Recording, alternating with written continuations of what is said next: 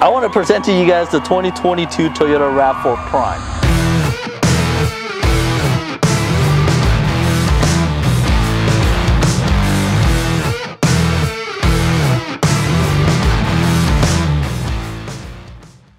So the Prime is indeed a whole different animal compared to just the regular RAV4 hybrids. So one thing with about the Prime, it actually adds an additional whole battery cell.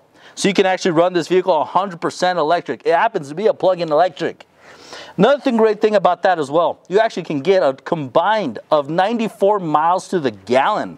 Yes, 94. So basically that's full tank gas and fully charged battery. It's amazing. Another thing too, have a heads up display. So that way, just in case, whenever you're driving, you don't want to have your eyes on the dash. You can just look right into the windshield and it's right there. Another thing too, that I like about this vehicle, happens to be a 360 degree view camera. Right in front of the grill, two in the mirror, and of course, the backup camera. That way I can be able to see every single angle of this vehicle. It's awesome.